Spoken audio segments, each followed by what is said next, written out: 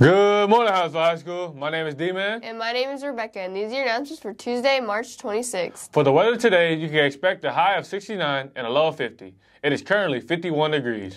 In the cafeteria today, there will be chicken tenders, hamburger steak, whipped potatoes, green beans, hot rolls, and your choice of fruit and milk.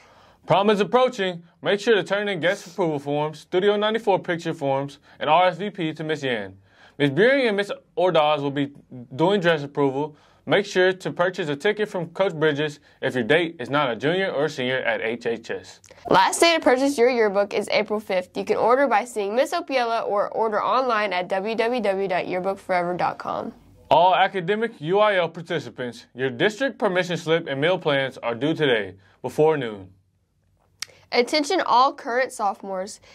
It's that time of year for physicals. All sophomores in any sports, band, or cheer must have one done. Pick up your physical forms from Coach Flores or Nurse Chrissy. There are they are due back on April 12th. You must have completed them and turn them in to get your physical for free by April 24th. Attention all current freshmen and juniors.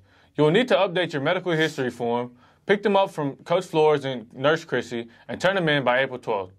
Good luck to golf, baseball, and softball today as they play in their games. Congratulations to girls soccer on a his- history making season, and c- congratulations to tennis. Happy birthday to Cole Parker. That's all the announcements. Have a great day. Keep both feet in the winter circle And, go, Brahmas.